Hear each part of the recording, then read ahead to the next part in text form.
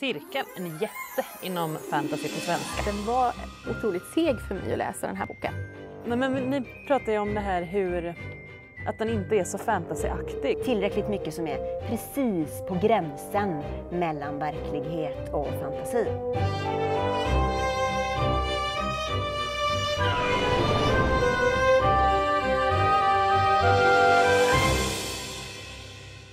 Hej och välkomna till Fantasykanalen. Idag ska vi prata om, ja, skulle jag säga antagligen den största svenska fantasyboken, Cirkeln av Mats Strandberg och Sara Bergmark Elfgren. Eh, den här boken kom ju ut 2011 så den firar 10-årsjubileum i år. Men som sagt, det är ju en, en jätte inom fantasy på svenska. Eh, och det är också den första boken i Engelsfors-trilogin. Och en natt så stiger en blodröd måne över den lilla orten Engelsfors. Och anden av en död häxa kallar samman sex stycken tonårsflickor. Som, och det visar sig att de här tonårstjejerna är utvalda häxor som ska rädda världen från ett hemskt hot. Eh, och de här tjejerna behöver lära sig hantera sin magi innan fienden hittar dem, men de behöver också lära sig komma överens med varandra trots sina olikheter. Det är väldigt ja, olika typer av, av tjejer som har kallats samman. Eh, och idag har jag med mig Linnea och Tillan.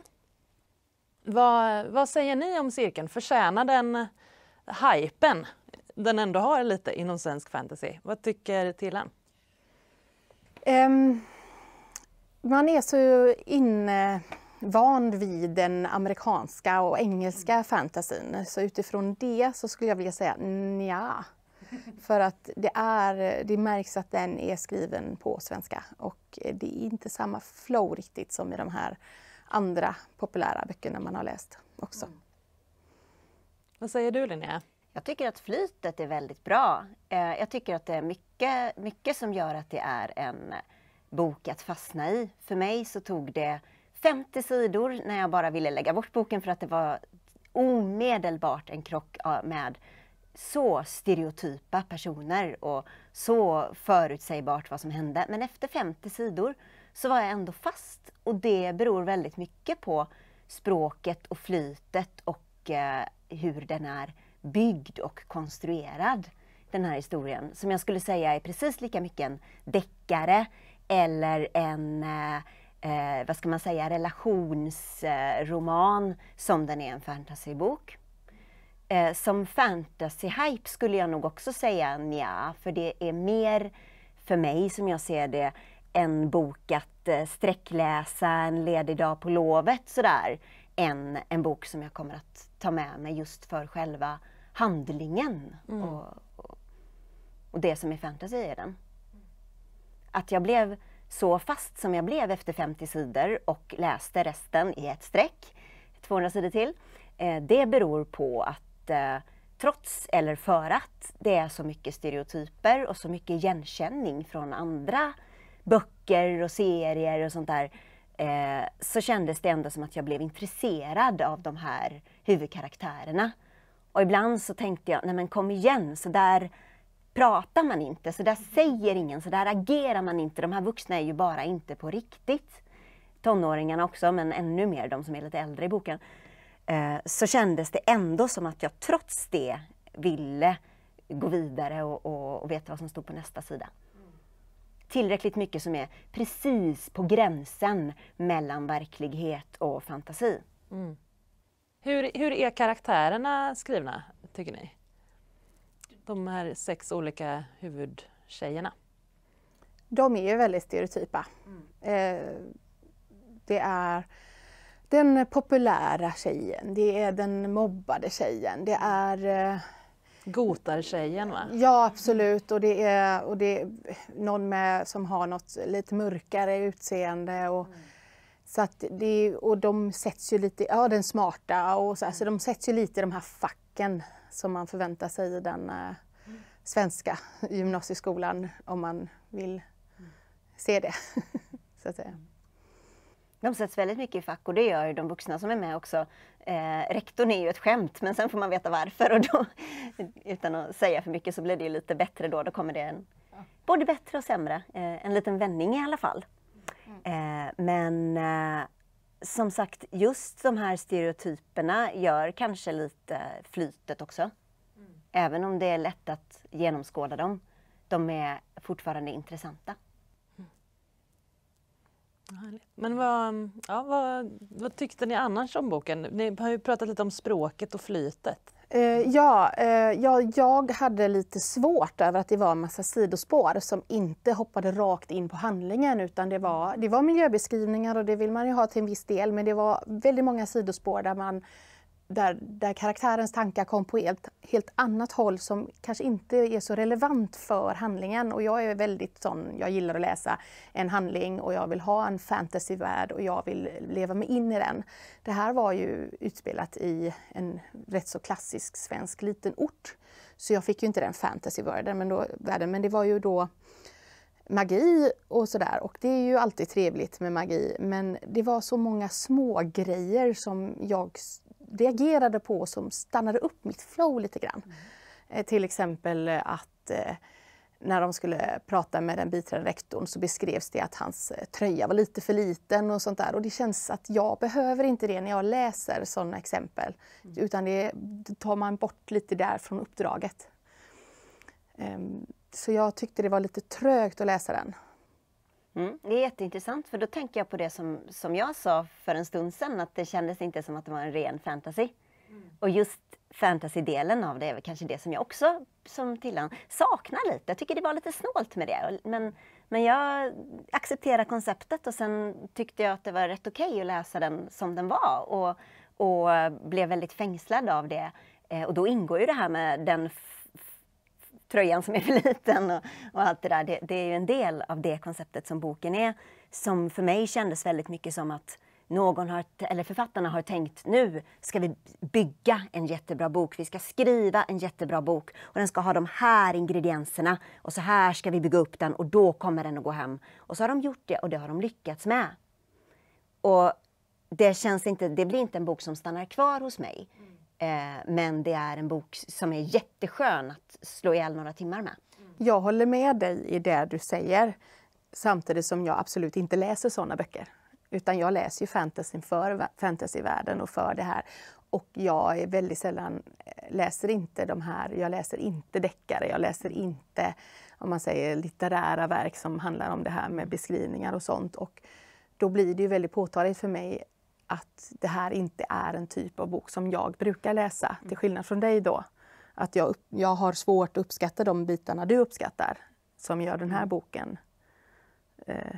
Ja, men ni pratar ju om det här hur att den inte är så fantasyaktig. Men jag tänker mig att den är väl ganska tydligt en urban fantasybok och inte en high fantasybok. Eller vad, vad händer om man läser den mer som, som urban fantasy, tycker ni? Eh, Jo, alltså, det, ja absolut eh, skulle man kunna säga att det är en urban fantasy. Eh, det är det. Det är, eh, det är häxkraft, det är okulta, man får med ritualer, man får med gammal magi, man får med magiska tecken, material, allt som häxor man tänker när man tänker häxor. Absolut, och det här har ju också haft en stor genomslagskraft. Den här boken har ju eh, släppts på flera språk, man har gjort film av den och så, så att det har ju växt den här rörelsen och eh, som svenska författare så har ju det blivit en väldigt stor bok. Men var det någonting som, eh, som ni kände var nytt eller fräscht? Mm, tyvärr. Eh, och det var rätt så lätt att förutspå lite vem, vem som är den onde och vad som händer. Och man kunde lista ut rätt så mycket i förväg. Det var inga överraskningar på det sättet heller, tyvärr. Eh, väl skriven, bra språk och man får verkligen en känsla av de här karaktärerna som Linnea har nämnt också, att man lever med i vem de är och sådär. Men man... Eh, det, det, är inte så mycket twistar eller att man wow, vad händer nu eller sådär. Det, det skulle jag inte säga att den är överraskande. Nej, jag håller med. Inte överraskande, men det var ändå det var en bra balans mellan medgång och motgång för mm. karaktärerna. Det var tillräckligt ofta som det hände tillräckligt allvarliga, svåra saker för dem för att det skulle fängsla och inte bara tugga på. Och det var, det var varken eländes elände där allt går fel eller att allt går rätt. det var en bra balans. Jag tänker spontant så här att den var otroligt seg för mig att läsa den här boken. Och det var, som jag sa innan så är det andra halvan är mycket mer händelserik och man kommer framåt i storyn. Så om man skulle till exempel slå ihop hela första halvan till ett kapitel och sen händer resten av andra halvan så är det en bok som jag mycket hellre hade velat läsa. Ja, för att det, jag tycker inte om de delarna där det är så mycket karaktärsbyggande och så. Men jag tycker nog det behövdes. Jag tycker samtidigt att andra halvan, där blir, det, där blir det väldigt mycket av det som jag känner är plockat från andra håll. Och det är ju det som är det, de här riktiga urban fantasy-delarna. Det är där jag vill gärna ha mer av trollkraften. Men jag tycker om när de upptäcker det och först tolkar det som någonting personligt och tänker wow, det är jag som är, har den här förmågan att ta det till sig. Jag, jag, de första 50 sidorna säger jag, där skulle jag kunnat sluta läsa när som helst för de tyckte jag verkligen inte om alls. Men efter 50 sidor tyckte jag den kom igång och sen hade jag ju fart av det. Eh, för framåt andra halvan så tyckte jag ju mer att det ibland blev sådär att man kände att nej men kom igen, nu, räck, nu det blir liksom för eh, konstigt och förutsägbart. Jag gillar det. Jag, jag går gärna till bekanta strukturer och böcker. Ja. Jag kan läsa olika böcker som är uppbyggda på exakt samma sätt, igenkänning i det. Och hittar jag en bok som är som en bok jag läst innan, då kan jag läsa dem för då känner jag igen mig och jag känner mig trygg och jag känner mig nöjd och jag liksom bara kan plöja. Så jag gillar att jag söker oftast till böcker. Den boken älskar jag, då vill jag ha böcker som är precis som den. För det var ju Och så de, eh, de, de hade ju med, de, de har ju inte liksom ljugit om att de har inspirerats, Nej. tvärtom, utan det är ju meningen att det ska vara, man ska hämta inspiration. Men som läsare så känner jag mig lite lurad av det. Jag känner mig lite som jag säger, men tror du att det här är den första boken jag läser eller? Så känner jag. Och jag är helt tvärtom och uppskattar den delen av boken. Ja, ja. Alltså, för jag tror det handlar om vem läsaren är också. Ja, det- det Så vem är väl du? Vilken Kommentera läsare nedan. är du? En sak som jag uppskattar det är att eh, eftersom det är första delen i en trilogi eh, så uppskattar jag att det hade en egen story som tog slut.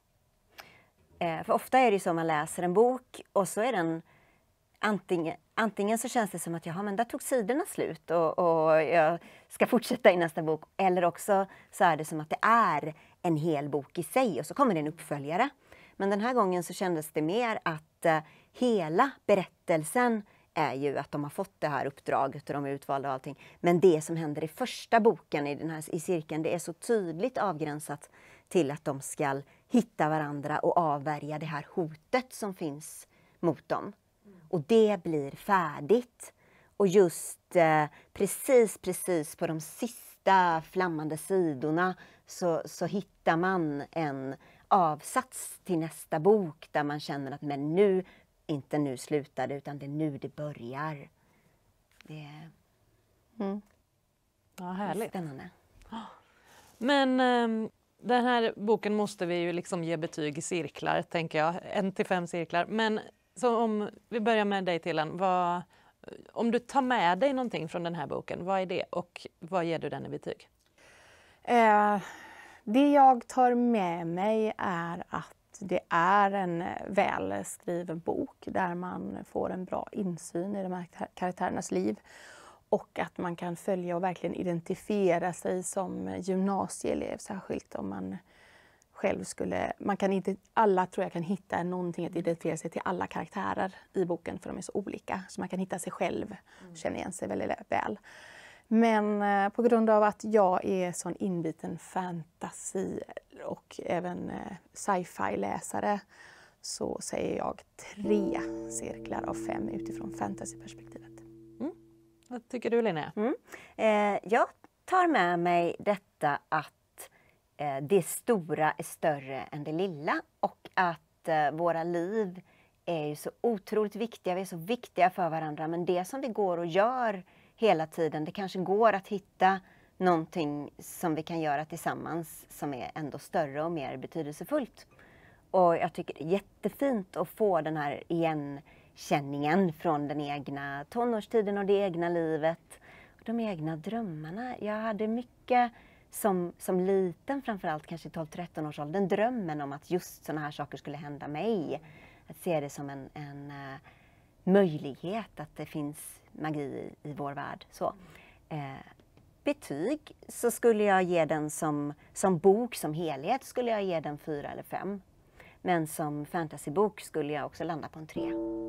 Okej, så en, en trea plus då kanske vi kan säga i sammantaget betyg för cirkeln idag. Tack så jättemycket för att ni var med och tack för att ni har tittat.